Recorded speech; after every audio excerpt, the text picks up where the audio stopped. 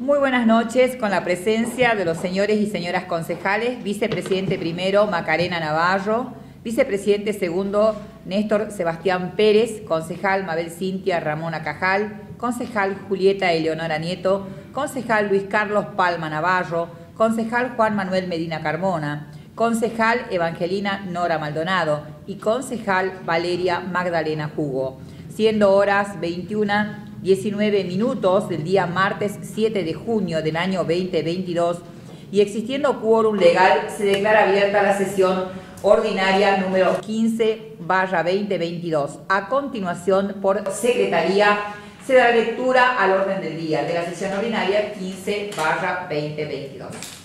Orden del día, sesión ordinaria número 15 barra 2022, martes 7 de junio de 2022. Punto 1, diario de sesión ordinaria número 09 barra 2022. Punto 2, expediente número 136 barra 22.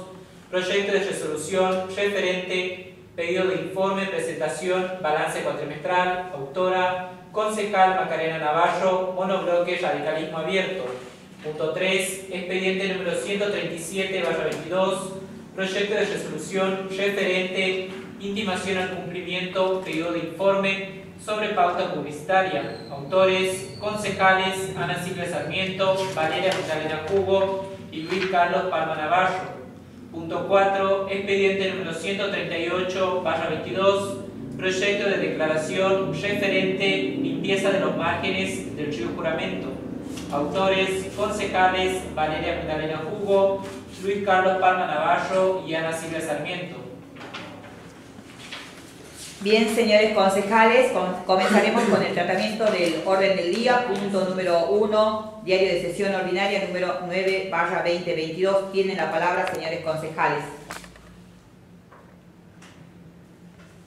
Si nadie va a hacer uso de la palabra, voy a poner a consideración de la mesa eh, la aprobación del diario. Quienes estén por la afirmativa, sírvanse levantar la mano. Queda aprobado el diario por unanimidad. Pasemos al punto número 2, expediente número 136 barra 2022, proyecto de resolución, pedido de informe, presentación, balance cuatrimestral, autora concejal Macarena Navarro, monobloque Radicalismo Abierto por Secretaría se da lectura. Visto la no presentación del balance, balance cuatrimestral primer cuatrimestre año 2022, considerando que la Carta Orgánica Municipal establece en su artículo 42 atribuciones y deberes del Departamento Ejecutivo Municipal en su inciso 4, publicar el balance cuatrimestral de Hacienda con el estado de ingresos y egresos de la municipalidad, elevando informe de la actividad, actividades de las secretarías 20 días después del cuatrimestre vencido que se sabe que no contamos con las cuentas generales de ejercicios de los periodos 2017, 2018, 2019 y 2020, rechazada por lo cual no conocemos en qué se gastó, cuáles fueron las prioridades y qué desvíos con respecto al presupuesto se detectaron que como antecedente se tiene la culminación en febrero del año 2021, un juicio político donde la principal causa de exclusión fue la falta de respuesta a 35 pedidos de informe de parte del DEM y un fallo emitido por la justicia donde se le dio 45 días al DEM para presentar la información requerida en el mismo, donde el fundamento principal es la vulneración al acceso a la información pública, que se trata de una importantísima atribución, como es sabido, las atribuciones son facultades de deberes, es decir, que cuando el Consejo Deliberante admite que el Ejecutivo no remita las condiciones de cuenta, más desde el punto de vista financiero, en tiempo y forma, no solo no está ejerciendo sus facultades, está incumpliendo su deber que el hecho de que el Poder Ejecutivo adeude a este Consejo Deliberante la remisión de las últimas cuentas generales y balances cuatrimestrales no solo es una falta de respeto para las atribuciones de los consejos y un incumplimiento de sus deberes constitucionales, es además un importante factor de distorsión de las tareas que no corresponden como encargado del control político de la gestión, que es responsabilidad de los funcionarios la rendición de cuentas los actos de gobierno deben ser información pública de obligatoria producción por parte del Poder Ejecutivo y que por tanto la omisión de producirla es violación del derecho humano de acceso a la información pública. Que los artículos 23 y 24 de la Carta Orgánica Municipal prevé la solicitud de informes de, de todo como atribuciones y deberes inherentes a la función del concejal y además este hecho mejora la calidad de gestión del intendente municipal que como concejales tenemos la obligación de hacer respetar nuestro rol, por ello el Consejo Deliberante del municipio de Joaquín González resuelve Artículo primero, solicitar al DEM que en el plazo de cinco días hábiles presente el balance cuatrimestral de Hacienda del primer cuatrimestre año 2022 con el estado de ingresos y egresos de la municipalidad, elevando informe de las actividades de las secretarías. Artículo 2, comuníquese, publíquese y archívese. Muchas gracias, señorita. Eh, Tienen la palabra, señores concejales. Pido la palabra, presidente. Tiene la palabra el concejal Navarro. Bueno, primeramente, buenas noches a todos los presentes, a los medios de comunicación, al personal administrativo y a los demás ediles.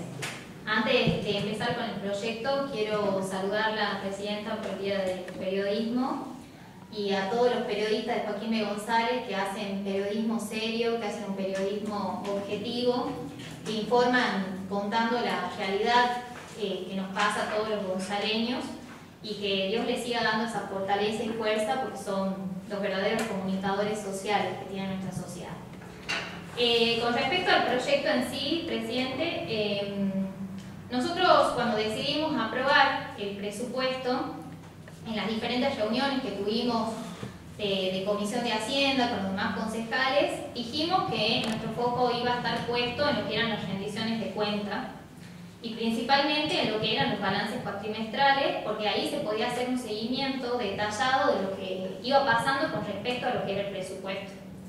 El presupuesto se aprobó recién, eh, hace muy poco, entonces la verdad eh, es importantísimo que nosotros conozcamos con respecto a lo que fue el presupuesto que se proyectó 2022, qué se va ejecutando de eso, qué partidas presupuestarias se van utilizando, qué recursos van ingresando a las arcas municipales, cuáles son las prioridades de ese presupuesto, porque el balance cuatrimestral de Hacienda, que está regulado a su vez por la Carta Orgánica, y a su vez se ha establecido también cómo debe presentarse con un dictamen de parte de la Auditoría General de la provincia, que eso está dentro de lo que fue el, fallo del amparo que ha sido favorable a, este Consejo, eh, determina cómo se tienen que hacer las rendiciones de cuentas. Y lo importante de este balance cuatrimestral es que no solamente te demuestra un estado de ingresos y egresos, sino que también te debe elevar un informe de todas las actividades de las diferentes secretarías. Entonces eso nos permitiría conocer a nosotros, más con estos cambios que hubo en el gabinete municipal, qué es lo que se ha logrado con las diferentes secretarías y qué es lo que se ha erogado en las diferentes secretarías. Eso era lo que me parecía importante destacar, que, que, nosotros vamos a hacer hincapié en el control, en este control detallado y, bueno, prácticamente no es semestral como presentaban las cuentas, eh, las rendiciones de cuentas. La Carta Orgánica establece que se debe hacer cuatrimestralmente y adicionalmente nosotros como concejales tenemos este rol de control eh, más que cualquier otro consejo porque nosotros acá no tenemos un organismo de control de cuentas. Entonces, al no haber un organismo de control de cuentas, quien debe ejercer ese control político y financiero es el Consejo Liberal.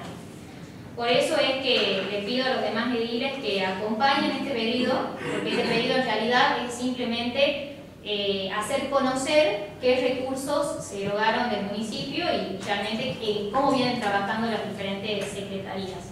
Nada más, presidente. Gracias, concejal Navarro. ¿Alguien más va a hacer uso de la palabra? Bueno, la, verdad este, es reiterativo casi estar haciendo hincapié en, la falta de presentación de informes, pero la realidad, es la realidad que tenemos, porque muchas veces dicen, vuelven a decir lo mismo, vuelven, y bueno, sí, hasta que no presenten, vamos a volver a decir siempre veces lo mismo.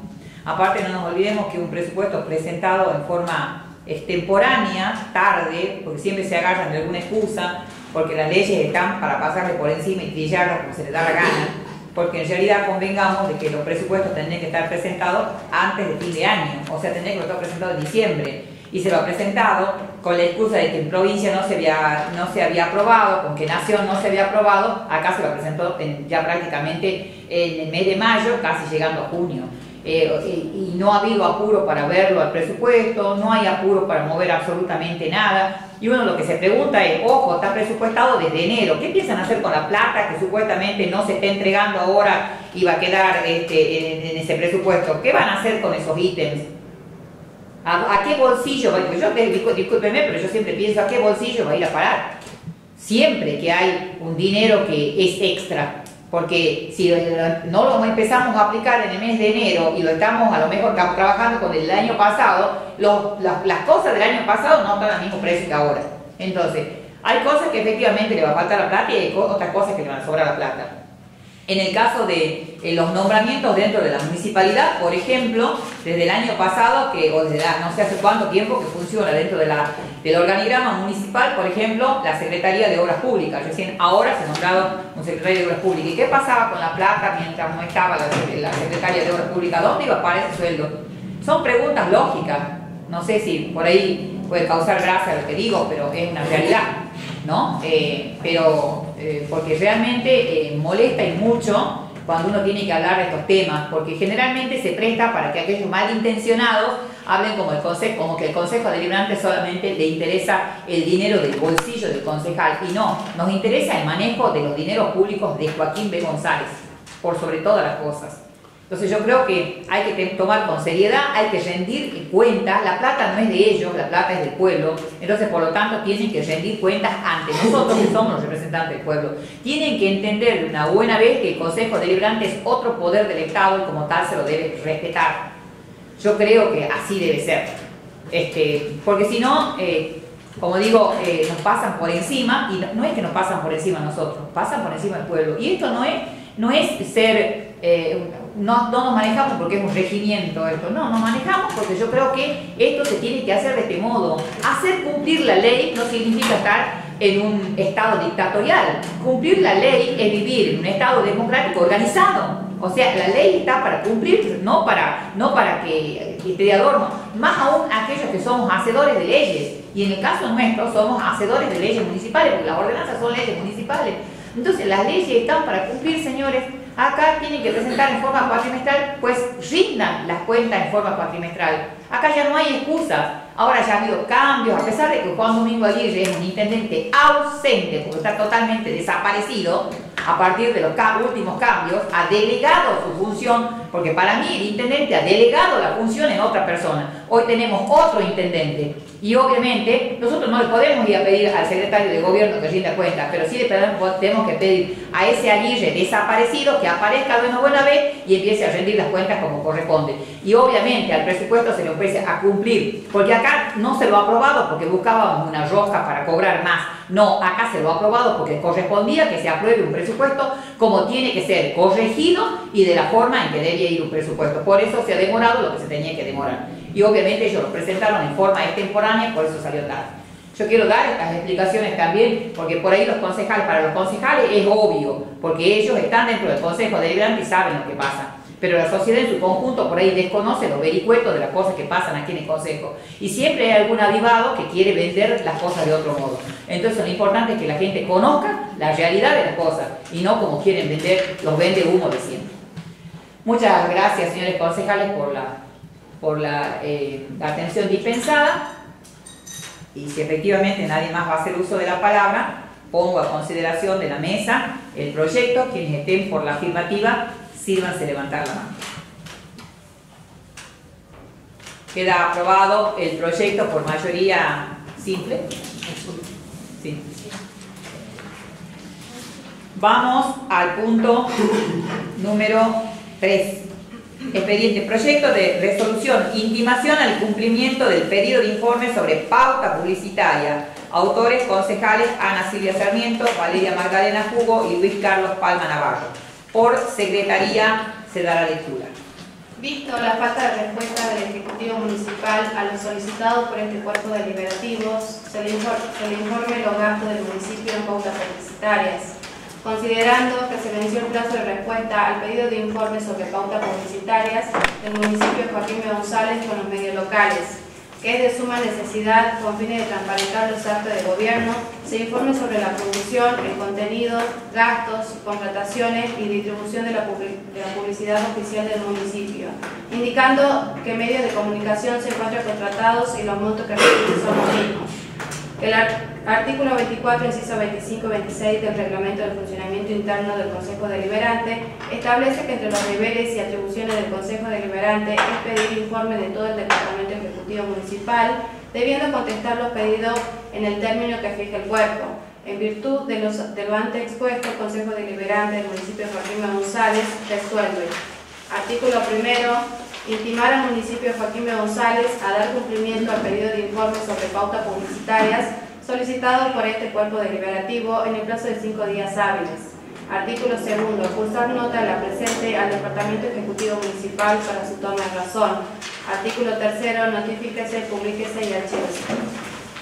Bueno, eh, este proyecto que es de autoría de nuestro bloque, primero vamos a hacer una corrección. Debe ser que por tanta demora que, hay, nos ha jugado una mala pasada del inconsciente, en vez de poner pauta publicitaria, pues pausa publicitaria, claro, pausa, porque la verdad que pausado viene hace un montón de tiempo el hecho de que no presentan la documentación acá en tiempo y forma. Entonces, ahí vamos a hacer una corrección, señor secretario, y es pauta publicitaria, no pausa publicitaria. Eh, a partir de ello, eh, ¿por qué hacemos esta intimación? Porque cuando se ha presentado a la justicia, eh, la gente de la municipalidad ha decidido que hay que pedir el informe y después hay que intimarlo. O sea que primero se pide el informe y después tiene que venir la intimación, porque ellos no entienden solamente con el pedido de informe, sino que hay que presionarlo. Entonces, ahora viene la presión. Ya hemos hecho el pedido, ahora viene la presión a que se presente en el tiempo que se tiene que presentar. Hoy es el día del, del periodista. Obviamente quiero felicitar a todos los que trabajan y hacen prensa seria. Y también, obviamente, queremos conocer ¿Cómo se distribuye la pauta publicitaria? Si es equitativa o no a la hora de la distribución. O solo son unos pocos que se benefician y los demás la ven pasar. Porque así muchas veces se habla, ¿no? De que se la ven pasar. Entonces, efectivamente queremos saber cómo se distribuye la pauta publicitaria en Joaquín B. González. No hay por qué esconder, creo que se paga con dinero del pueblo, por lo tanto el pueblo tiene que saber cómo se distribuye ese dinero, si no se lo está usando simplemente para que eh, se difame al adversario político, si se lo usa, efectivamente para trabajar en pro de hacer conocer el trabajo que se hace dentro del municipio, porque en caso contrario estarían utilizando la plata que es de todos para hacerse propaganda política y no es así, la pauta publicitaria se tiene que pagar para hacer conocer realmente como corresponde lo que se trabaja dentro de la municipalidad, los actos de gobierno que hay. Más aún sabiendo que nosotros no tenemos un boletín oficial que ha salido inclusive del Consejo Deliberante, pero está guardado en algún cajón olvidado en el municipio. Por lo tanto, esta intimación lleva a eso, a que se informe nosotros queremos conocer. No puede decir el nuevo secretario hace poco tiempo asumido que él desconoce esto. Él sabe perfectamente porque acá se le ha entregado una carpeta con todos los pedidos de informe que vienen debiéndose desde el Ejecutivo desde el 2020. Porque nosotros, nosotros los que estamos ya desde el 2020 no hemos perdido la memoria y obviamente seguimos queriendo que nos informen. Yo siempre digo, el pueblo quiere saber de qué se trata desde el 25 de mayo de 1810. Estamos en el año, en, junio del, 2022 y seguimos esperando saber de qué se trata, porque la verdad es que no sabemos de qué se trata. Ni en la pauta publicitaria, ni en los dineros públicos, y esto se convierte en una monarquía o en un estado feudal donde los, poderes legislativos están borrados, los órganos de control desaparecidos. Y esto no puede ser así. Nadie es dueño del dinero de Joaquín de González, que el dinero es del pueblo de Joaquín González. Y en representación de él que queremos saber cómo lo utilizan para que ningún vivo vaya a recibir pauta publicitaria de más para hacer propagandismo político y para atacar al adversario. Muchas gracias, señores concejales. Tiene la palabra quien quiera hacer uso de mí.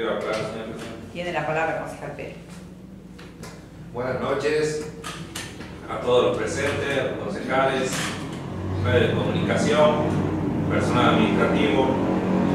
Eh, bueno, primero que nada, para acompañar, señora presidenta, este eh, pedido de informe, esta resolución, que es muy importante, ya lo habíamos tratado, el tema aquí. Eh, sobre el cumplimiento, sobre la pauta publicitaria, y había hablado de que, bueno, recuerdo que en el año 1900, perdón, en el siglo XV, siglo XV nace lo que es casualmente eh, la etimología de la palabra periodismo, porque eh, causalmente o casualmente hoy es día de tal, empieza con la escritura y con la lectura, y hoy es día de los periodistas, así que felicitar a todos los que hacen un periodismo responsable, no, no así a los que no tienen ética profesional a la hora de trabajar, por más que no sean recibidos de licenciado en comunicación, ya que la RAE dice que con el solo hecho de ejercer eh, la comunicación social ya son periodistas, o sea que saludo fuertemente a todos los locutores radiales, a las personas que trabajan a través de los nuevos medios tecnológicos masivos que hay, y no así, por supuesto, a quienes han atentado básicamente hasta en contra de la democracia muchas veces, eh, son una pistola en la cabeza de la democracia. Esa es la frase para algunos que se hacen llamar periodistas. No voy a dar entidad a nadie, cada uno sabrá y se pondrá el poncho, eh, porque desinforman en vez de informar. Y tal cual, llevándolo a elevación, a este pedido de informe de la pauta publicitaria, en lo que respecta a mi persona subjetivamente, yo no estoy de acuerdo en que no se dé una pauta publicitaria porque me parece que lo es lo más justo dar una pauta publicitaria a los medios que se encargan realmente de hacer su trabajo, pero, pero tiene que ser equitativa, porque no es, eh, no es justo que se reparta la pauta publicitaria a X medios, el 90%, quizás el 100%, no estoy muy bien informado al respecto casualmente porque no tenemos respuesta a esto, pero sí, obviamente me llama poderosamente la atención de que hay medios que le dedican una hora, una hora y media a pegarle al Consejo Liberante, a hablar la vida personal de la presidenta del Consejo, eh, cuando traen eh, los diferentes ediles, traen proyectos que realmente son de jerarquía y son eh, proyectos que son beneficiosos para la gente, también van en contra. Entonces, realmente, ¿cuánto dinero estamos gastando en esto? En desinformar a la gente. Porque aclaro, la pauta publicitaria me parece perfecto. Si son 200 mil, 300 mil, no sé el número, estoy dando un ejemplo. Y bueno, 40 mil, 30 mil para cada medio, 20 mil, 10 mil, perfectamente para que reproduzcan los actos de gobierno de lo que hace el municipio de J.B. González, de lo que hace el intendente ha ganado la elección y está en todo su derecho de hacerlo. Quiero recordar también, no tengo bien en claro, pero ya voy a pedir eh, en secretaría, ¿cuántos son los pedidos de informe que se vienen presentando desde que asumió el nuevo secretario de gobierno? Porque también me llama la atención esto, que se ve merodear en las calles de Hipólito Yrigoyen y la avenida General Güemes, más bien en la municipalidad, muchísimos asesores, consultores, que también han dicho que se llaman, que trabajan junto al secretario de gobierno y el secretario de gobierno se comprometió aquí a trabajar mancomunadamente con todos nosotros y a responder todos los pedidos de informe. Creo que ha pasado un mes, si no recuerdo mal, desde que asumió el secretario de gobierno, y no tengo bien en claro, pero por lo menos más de cinco pedidos de informe ya hay en el Consejo Deliberante y obran, por supuesto, en el poder del Ejecutivo. Y aún no han sido respondidos. No han sido respondidos. Y tampoco son pedidos de informe que les van a llevar días enteros a hacerlo. Esto es simple, muchachos, es que casualmente que tenemos ahora en nuestro poder. Es informar quiénes reciben el voto de la pauta publicitaria. Perdón. Sí, básicamente. ¿Quiénes son? Sería bueno también agregar el, monto, señor presidente. a dar cumplimiento al pedido de informe sobre pauta publicitaria. No recuerdo bien si decía así en el, en el primer, eh, antes de la intimación, el monto de cuánto recibe cada medio, así sea un medio radial, un medio de, de comunicación visual, un medio tecnológico como son las redes sociales, Facebook, Internet, etc. Pues sabemos que también a través de, esta, de estos diferentes medios eh, se reproducen muchísima información algunos responsables, otros no, algunos sin ética, otros no, por moral, pero se les reproduce. Eh, hemos visto fuertemente también que en muchos medios se ha, eh, se ha desmembrado el nivel de información hacia la sociedad más de los actos del Consejo Deliberante. Sin ir más lejos, el otro día hicimos un, una una conferencia de prensa donde fueron llamados, yo creo que todos los medios, por no decir la mayoría de ellos, y solamente ha venido uno, uno o dos, uno o dos, de los más de 10, 15 medios que hay en Puerto González. Cuando antes recuerdo que se habían venido todos. Entonces, como que empieza a llamar la atención esto, empieza a llamar fuertemente la atención esto de los medios porque estamos tratando temas inherentes a la sociedad, no estamos tratando temas personales del concejal Navarro, del concejal Palma, estamos tratando temas que necesita saber la sociedad del pueblo de JB González. Así que yo llamo a la reflexión, si tengo que hacer un mejor lo hago, pero llamo a la reflexión de todos los que ejercen el periodismo y por supuesto, como siempre, llamar a la reflexión al Ejecutivo, que conteste los pedidos de informe, que como lo dije en un principio, tienen actualmente, eh, bueno, no, no voy a hablar de la cantidad de empleados que tiene el municipio, pero sí del nuevo secretario de gobierno que aparentemente venía a ser la panacea, venía a ser la cura de todos los males y aún no contesta nada con 10 asesores a su lado. Entonces estamos esperando que se responda esto, porque reunión en reunión en reunión no vamos a solucionar absolutamente nada. Así que yo, por supuesto, eh, apoyar este pedido de informe, señora Presidenta, me parece que la transparencia, palabra que dicen que usted usa mucho, eh, y es de, por supuesto, es de importancia y es para lo que nos, han elegido el pueblo, porque los nueve eh, caballeros y damas que están aquí sentados, los han elegido el pueblo, están con el voto del pueblo, no es que nadie nos ha puesto aquí a punta de dedo, nos han puesto para esto, para el control del ejercicio de los actos de gobierno del Ejecutivo, que es uno de los principales roles que tenemos entre tanto. Por supuesto, este, felicitarla a usted y a su compañero por este pedido de informe que es realmente muy, pero muy bueno para la sociedad, señor presidente. Nada más, muchas gracias. Gracias, concejal Pérez. Bueno, si nadie más va a hacer uso de la palabra, voy a poner a consideración primero el proyecto en su conjunto y después la, particularidad de, vamos a hacer un agregado al proyecto. Señora Presidenta, en el proyecto anterior sí figura el monto que le venían de presentar. Bueno, entonces no agregamos nada. Eh, bueno, señores eh, concejales, voy a poner a consideración de la mesa el proyecto. Quienes estén por la afirmativa, sírvanse levantar la mano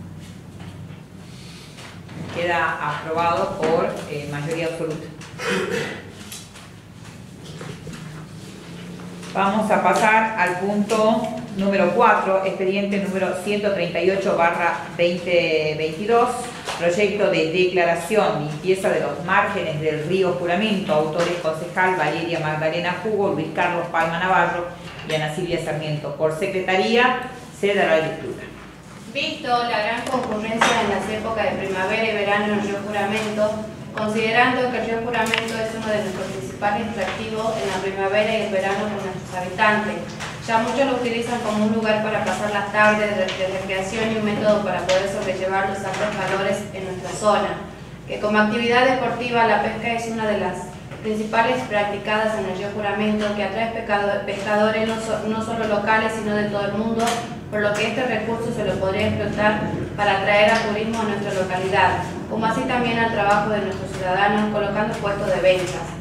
Que con la limpieza de lugares estratégicos, los márgenes del río Juramento nos ayudará también a evitar que se produzcan hechos de inseguridad, evitar picaduras de serpiente o insectos. Que en estos trabajos de limpieza se los podría realizar en estas épocas del año que la concurrencia no es tan constante, que solo los pescadores se hacen presentes y no en forma masiva como lo es en primavera y el verano que en virtud de lo antes expuesto, el Consejo Deliberante del municipio de Joaquín González declara, artículo primero, vería con agrado se realizan limpiezas y acondicionamientos en los márgenes del río Juramento, en los accesos por la Laguna Blanca y Barrio Mistol. Artículo segundo, curse nota de la presencia del Ejecutivo Municipal y la Secretaría correspondiente para su toma razón. Artículo tercero, comuníquese, publíquese y archívese. Señores concejales, tienen la palabra. Tiene la palabra, señor presidente. Tiene la palabra el Palma. Buenas noches, colegas. Eh, saludos al secretario. Eh, quería dar mis felicitaciones a los periodistas por su día. Y bueno, vamos a arrancar con el proyecto que es más que todo un poco idea mía, el tema del recurso hídrico tan importante que tenemos en el departamento de Anta como es el río Juramento y lamentablemente tan mal aprovechado por todos los pueblos que, que cursan su, longitud, eh, es eh, realmente una, una, un, potencial, un potencial extraordinario que tiene el juramento, ya que, como dice el proyecto ahí, atrae a gente de todo el mundo a hacer excursiones de pesca, pero creo que no solamente se basa eh, en la pesca, sino también en la parte de lo que sería el recurso turístico la implantación de una costanera de Joaquín B. González de aproximadamente por lo menos 2 dos kilómetros y medio de costa, obviamente manteniendo la higiene como corresponde, y así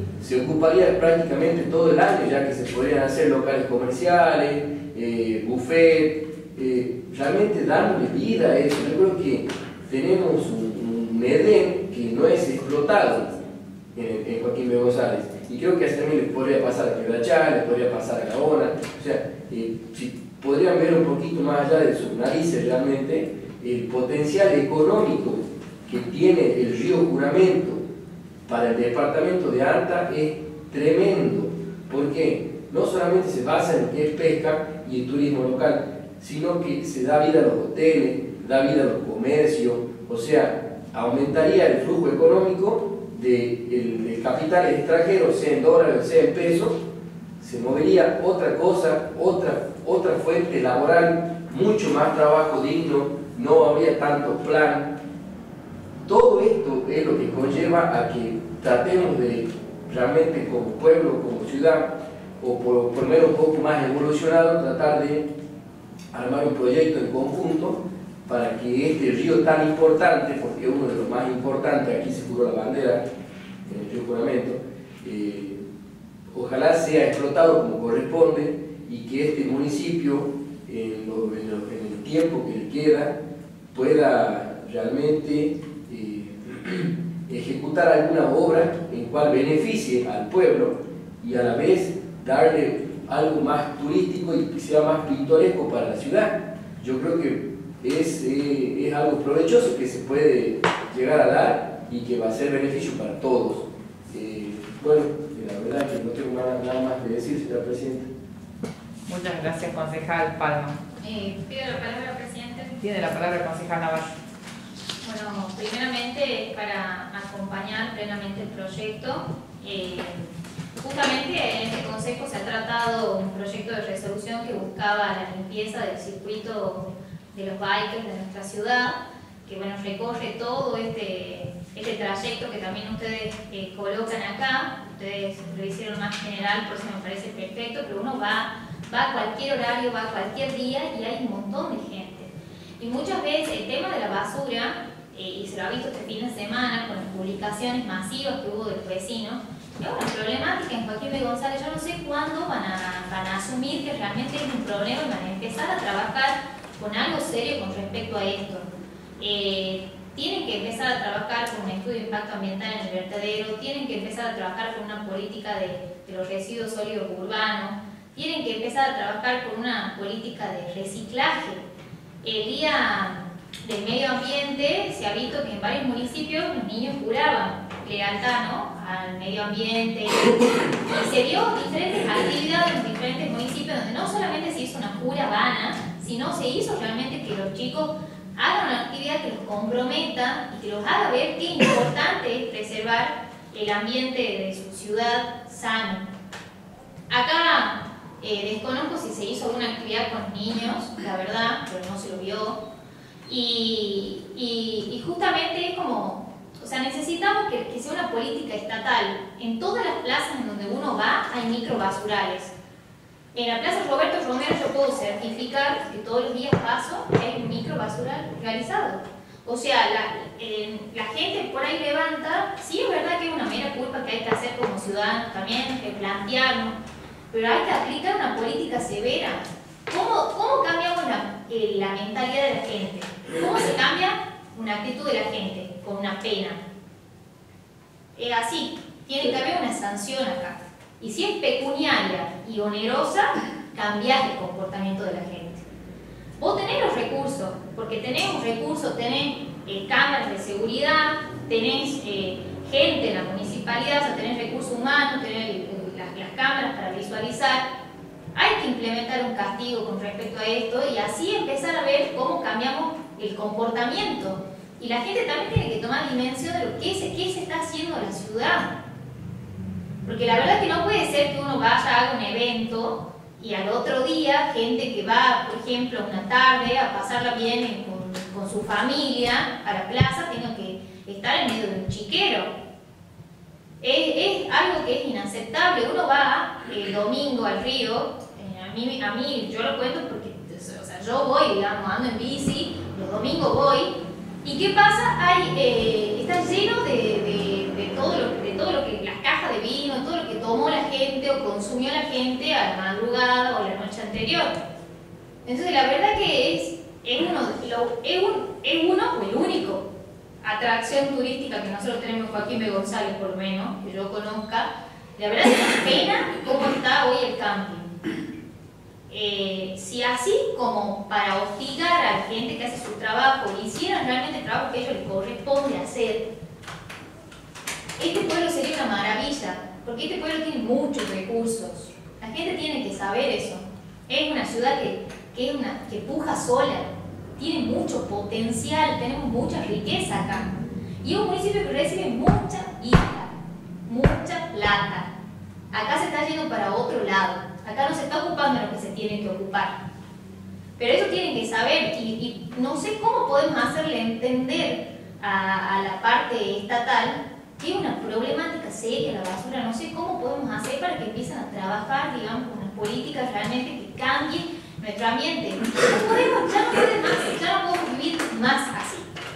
Así que yo es para acompañar plenamente el proyecto y para nuevamente hacer una solicitud vía este medio que quede también en, en, el diario de sesión de que necesitamos que prime en agenda el tema ambiental, porque no, no lo pide este Consejo Deliberante, lo pide la gente y es evidente cuando pasa alguna situación cómo la gente comparte. Eh, y también decir, concejal Cajal, que yo hice uso del, del recurso que usted me recomendó con respecto a lo que es el número de obras públicas, Tres veces lo utilicé al número por WhatsApp, tres vistos tengo, tres clavadas de visto. Y lo hice en horario laboral, lunes, jueves y viernes. Horario laboral, o sea, uno el jueves a las 7 de la mañana. Yo me imagino que, está, y si no me contestáis, contestame por lo menos dentro de lo que es tu jornada pero no funciona. Y es verdad lo que pone la gente en las redes, no funciona, porque yo tengo acá los mensajes, si quieren que vean, de la clavada de visto. Reitero pedido, reitero pedido, reitero pedido y no me han contestado. Y en horario laboral no fue domingo, no fue eh, sábado, no fue nada, fue durante la semana.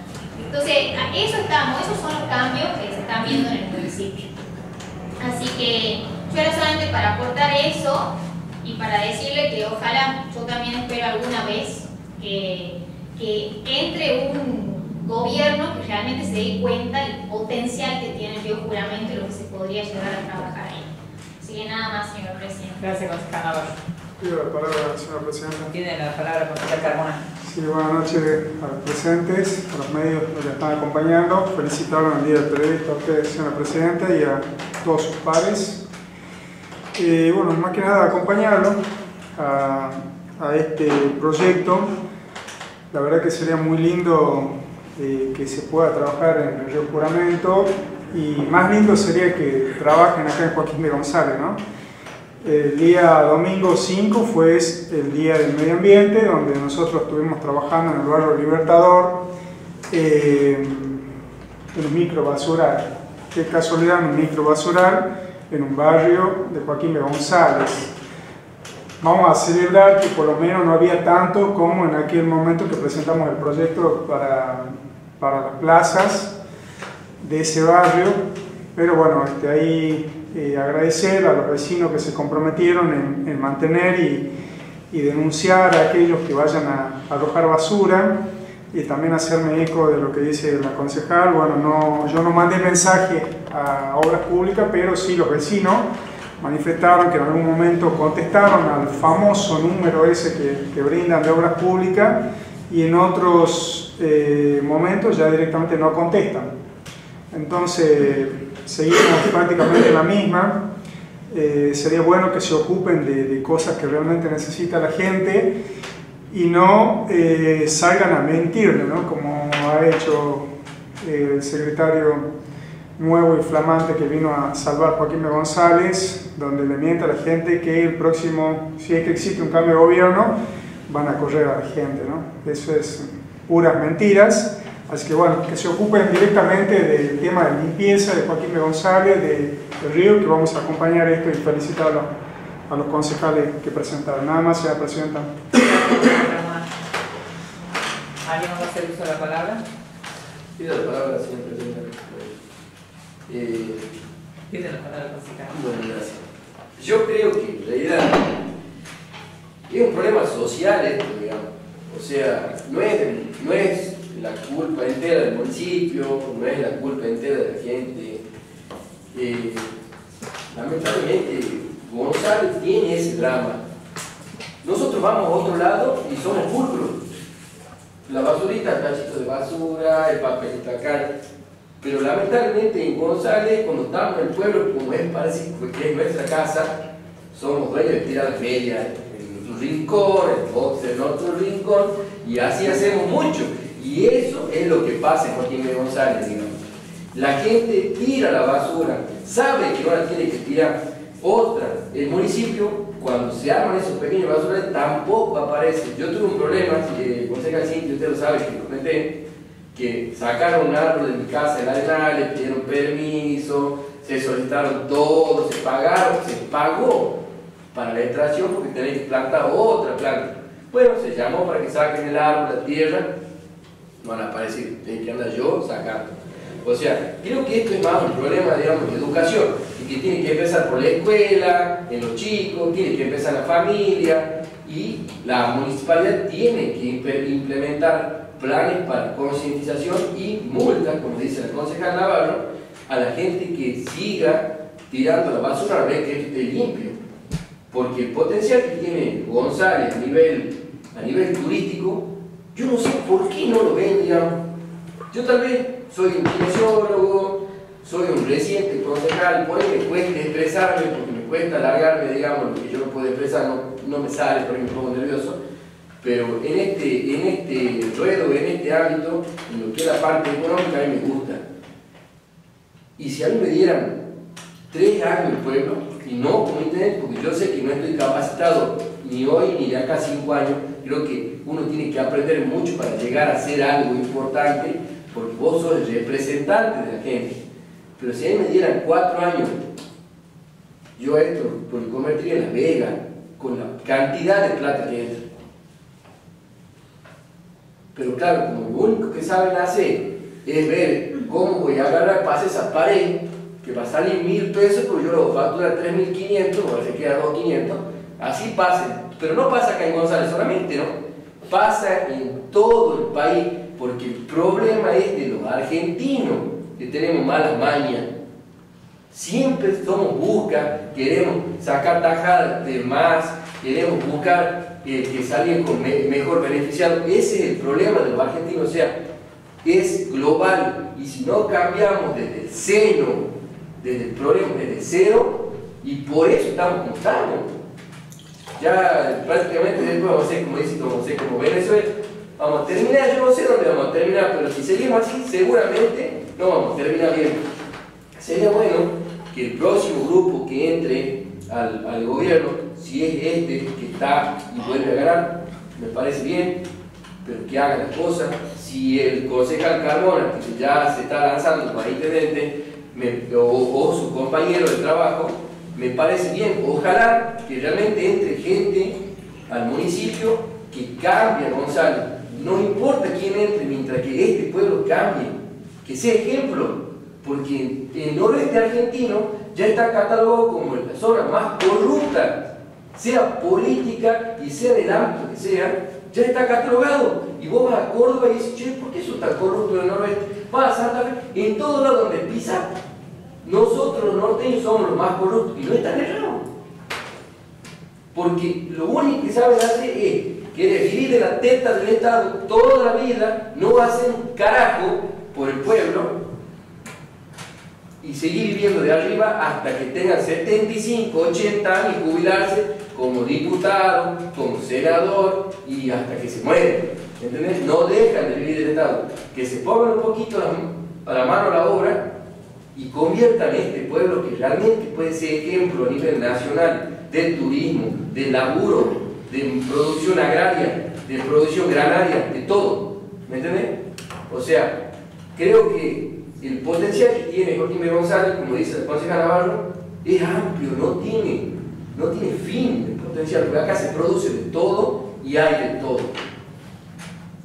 Es lo único que quería decir, señora Presidenta. Muchas gracias. Tiene la palabra, Presidenta. Gracias, concejal. Eh, tiene la palabra concejal eh, Gracias, Presidenta. Eh, bueno, eh, buenas noches a todos los civiles, a todos los presentes, medios de comunicación, y felicitarlos ¿no? a todos los, comunicadores en su día.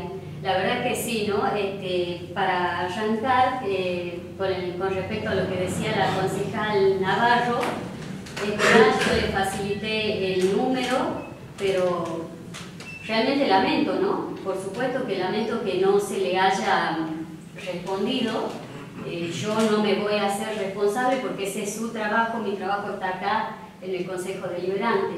Pero sí, lamento que no se esté respondiendo al número que, han puesto este, en, las redes.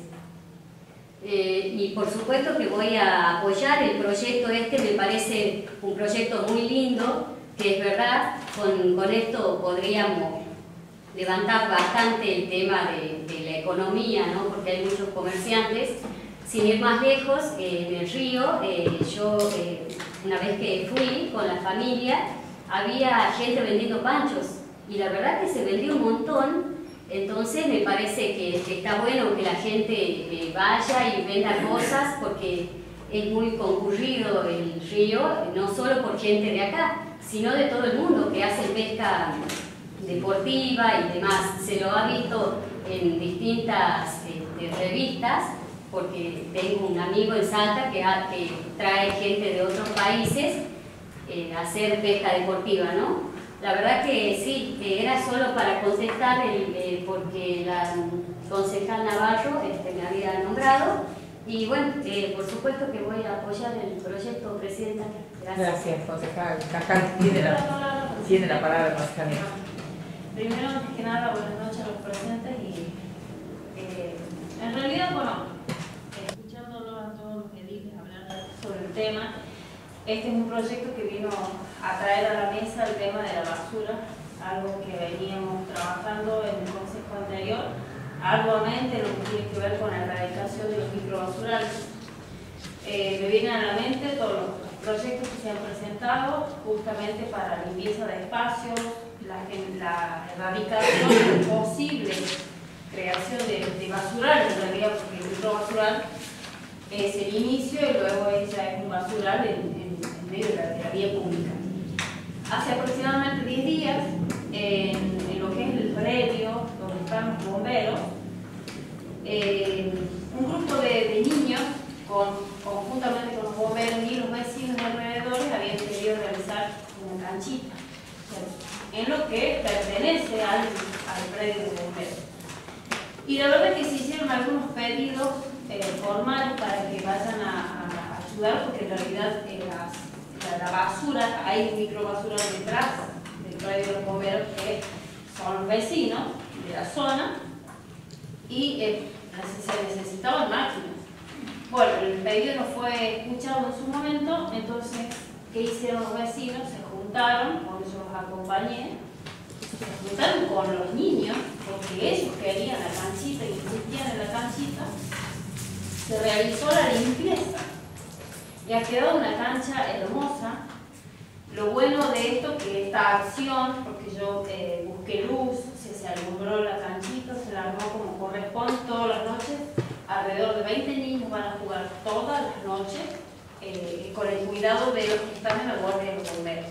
Es un lindo grupo de niños, más que están en la guardia. Y esto hizo, sí, este movimiento que hicieron los vecinos, porque lo hicieron ellos, uno simplemente acompañó y ayudó, se logró que se limpiara alrededor. Pero se dijo, atrás de los bomberos estaban los basuras, basuras, y vos vas a ver, estabas en la cancha y veías que venía un vecino caminando y hacía así la bolsa y la tiraba. O sea, pero era a- en plena luz del día, impresionante, y de allá me fui yo, hablé con el vecino, bueno, pero que no tengo dónde tirarlo, que no tengo el contenedor, es decir, eh, veo que todavía no hay un, trabajo en cuanto a, programar cómo se va a trabajar con la basura. El, ba- el basurero pasa eh, regularmente como corresponde, pero no hay un trabajo, entonces se saca de aquí, luego aparece por allá, es decir, no hay justamente un- una organización en cuanto a la, eh, primero, erradicación de la basura eh, cotidiana de todos los días, porque ocurre que la gente ya no le pasan ya, entonces va y lo en la otra esquina. Recuerdo también haber realizado algunos murales hace, unos años atrás y ahí donde dice que no tiene la basura y van y la tiran. Y son del centro. Entonces la verdad es que escuchándolos a todos, que, hablamos siempre de, lo que tiene que hacer el municipio, de lo que tenemos que hacer como vecinos, porque todos somos vecinos, la verdad que, es un deseo como concejal y como, y ciudadana que realmente se busque la manera ¿no es de trabajar conjuntamente, no es solamente el medio ambiente ir y pegar un papelito o pegar un cartel y siempre decirle, inculcarle al niño que no tiene que tirar el papel, que es lo que hacemos nosotros como gramos. Ah, no, pero si el señor de allá lo tiró, si el señor de allá todos los días, te decían los niños, todos los días viene y revuelve la bolsa y la tira, porque así decían los niños. Entonces ellos ven el ejemplo que damos nosotros, porque somos nosotros, no vamos a decir que es solamente el de allá o el de frente, y el mismo niño lo ve. Entonces lo hacemos curar en la escuela, le hacemos todo un acto para sacarle una foto a la criatura y vemos las actitudes que tenemos. Estamos mostrándole al niño donde él quiere hacer su canchito, donde él quiere tener un lugar limpio para jugar. Él ha que venir, juntar la basura, ayudar al vecino que estaba a la par, porque tenían, eran, eran, eran basuras peligrosas, había vidrio, se encontraron un montón de cosas horribles, de, basura realmente muy peligrosa y nociva para los niños, donde realizan ese camino todos los días para ir a jugar. Y la verdad que seguimos en la misma, seguimos en no saber qué hacer, porque justamente no, no tenemos, como decía la concejal, existen las leyes municipales que son las que hacemos nosotros, donde están cuáles son la- las faltas, ¿no es cierto?, a justamente a la vida cotidiana. O sea, a la, por ejemplo, la erradicación del basural, a no tirar la basura en la vía pública. Existen leyes, pero lo que pasa es que se tienen que poner eh, en vigencia, se tienen que hacer cumplir. El decir que le van a hacer una multa por tirar basura, no tiene por qué enojarse si yo sé que no tengo que tirarla. Eh, también está el tema, por ejemplo, en su momento, que también la concejal lo presentó, el tema de, la distribución de los contenedores. La distribución de los contenedores no era para decir, ah, no, lo van a romper, lo van a quemar, era justamente para hacer una distribución equitativa para los barrios y que se evitaran este tipo de, problemas. Yo había solicitado en esa esquina donde eh, se vuelve a tirar basura, donde se había tratado de erradicar, bueno, no, no, fue, no, no fue distribuido, se fue puesto en práctica ese tipo de ordenanza. Así que bueno, obviamente eh, acompañar siempre todo este tipo de proyectos que nos hace bien al municipio, a nosotros y bueno, a toda la sociedad en su conjunto. Nada más, presidente. Gracias, concejal. Nieto, ¿alguien más hacer uso de la palabra? Tiene la palabra, señor presidente. Tiene la palabra, concejal Pérez. Bueno, muchísimas gracias. Eh, sin querer hemos hablado del río Juramento y nos hemos ido, por supuesto, porque es un tema, eh, es un tema equitativo, obviamente, el tema de la basura, del medio ambiente, con respecto al juramento, es algo básicamente que van de la mano por su limpieza y por el estado en el que se encuentra. Yo escuchaba detenidamente a los demás concejales y creo que eh, primero que nada, deberíamos empezar a tratar temas de concientización en la sociedad. Eh, suena fuerte por ahí hacer eh, multas, habría que es un trabajo mucho más exhaustivo, saber por qué hacerlo y demás, porque por ahí tira una basura en la plaza y bueno, no, creo que no hay municipio que haga una multa por eso, pero bueno. Eh, para eso casualmente también están las ordenanzas, los, las herramientas que se han puesto en marcha aquí en este Consejo Deliberante y que el Ejecutivo no las lleva a cabo, como eh, la limpieza de los lotes baldíos. Recuerdo que los propietarios iban a hacer eh, una de dos, en este caso. Si se lo limpiaba el Ejecutivo mismo, eh, tenía que luego el propietario pagarle al ejecutivo por la limpieza del lote baldío. Y si no, obviamente, en este caso, si estaba regulado, es que se lo multe. Con dinero, por supuesto, con trabajos comunitarios. También recuerdo que trajeron un proyecto de ordenanza del mismo ejecutivo, el ex concejal, que le mando un saludo también por Día del Periodista, creo que es periodista también, Nicolás Luna, no sé si trabajan ya, no sé en cuál, le mando un saludo, trajo eh, la puesta en marcha de la ordenanza sobre la quema de residuos, que iban a ser fuertemente multados todas las personas. Fue un, fue un debate exhaustivo acá con, con la presidenta del consejo, con quien está hablando, él mismo, decíamos, eh, ¿multamos o no multamos a las personas que quemen la basura? Pero si la gente no le levanta la basura, tiene una montaña de basura y no le queda otra que eh, quemar estos, estos desechos, estos residuos. Finalmente se aprobó la ordenanza y hasta el día de hoy brilla por su falta de puesta en marcha. Lamentablemente herramientas tienen, yo diciendo un poco con el concejal Palma, por ahí dice que no es mucho culpa del Ejecutivo, sí creo que es culpa de todos, creo que pasa por la educación de cada una de las personas que vienen desde la casa, como decía capaz tiene un boxer tirado por aquí y por allá, pero bueno, el Ejecutivo es quien tiene las herramientas y quien hoy, hoy nos está gobernando, entonces se tiene que hacer cargo ese tipo de actos. Para eso ganó la elección. Se presentó sabiendo el problema que tenía el municipio de Costa de González y cuando se presenten todos ustedes, también se presentan sabiendo eh, cuál es la situación del municipio. Em, yo, la verdad que voy a aprobar, eh, aprobar este proyecto, voy a apoyar con mi voto, por supuesto, porque es de suma importancia y creo que que gente tanto deshonesta y honesta hay a lo largo y a lo ancho del país, no solamente en el noroeste.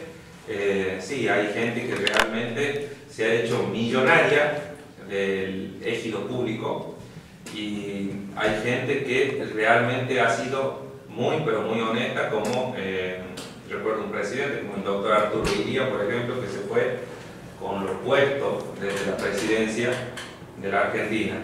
Así que sería muy bueno empezar a inculcar este tipo de valores y concientización a todas las personas que nos rodean y eh, llevar a un buen puerto, sin duda, esto que empieza por la casa de cada uno de nosotros. Nada más, señora Presidenta, muchas gracias. Gracias, concejal Pérez. ¿Alguien más hacer uso de la palabra?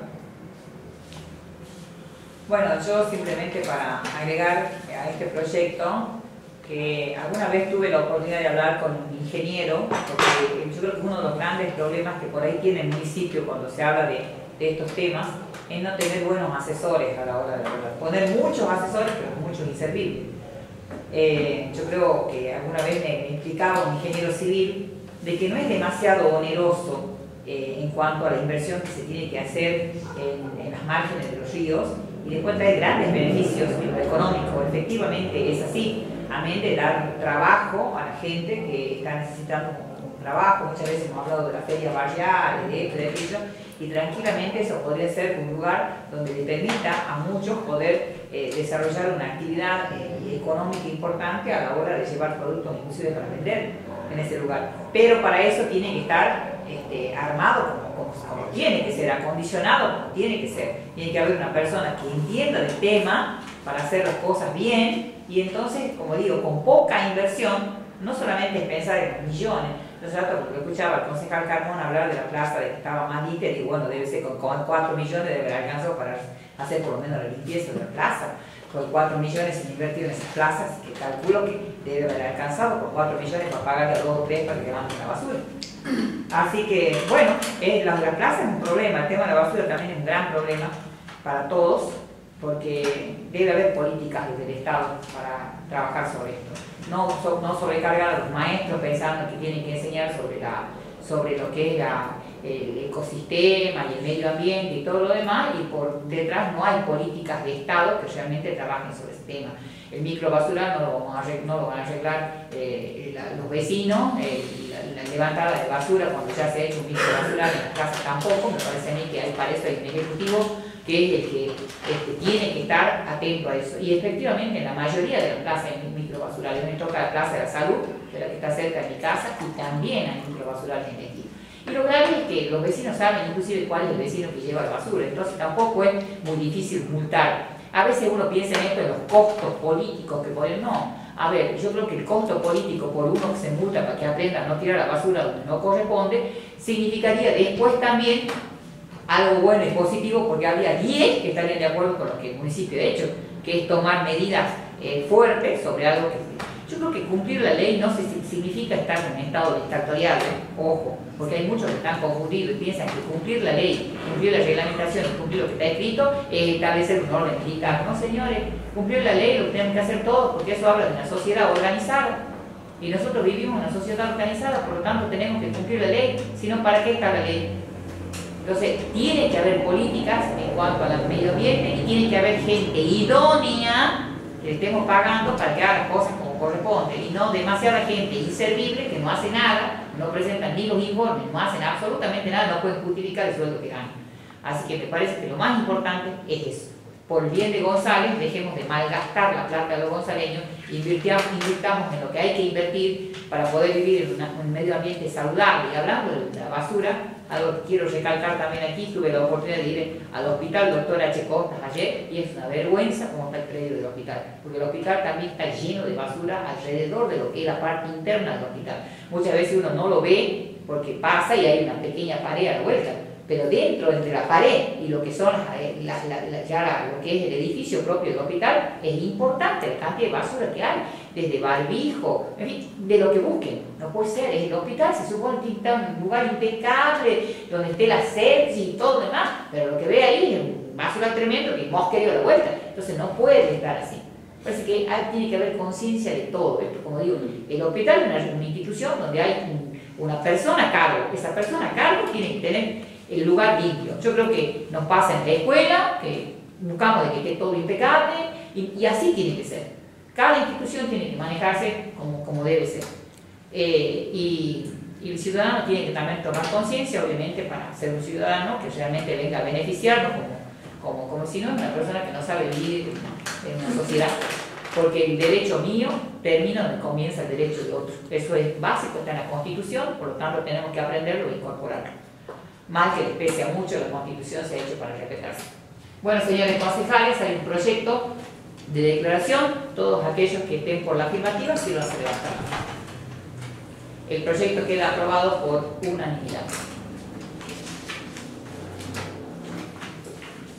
No habiendo más puntos por tratar, siendo horas 22, 23 minutos del martes 7 de junio del año 2022, contando con la presencia de los señores concejales, vicepresidente primero, concejal Macarena Navarro, vicepresidente segundo Néstor Sebastián Pérez, concejal Mabel Cintia Ramona Cajal, concejal Julieta Leonora Nieto, concejal Luis Carlos Palma Navarro, concejal Juan Manuel Medina Carmona, concejal Evangelina Nora Maldonado y concejal Valeria Magdalena Hugo. Se da así por finalizada la sesión ordinaria número 15 2022. Agradecemos la presencia y labor del personal administrativo, de los medios de comunicación, del público en general. Muchas gracias, muy buenas noches.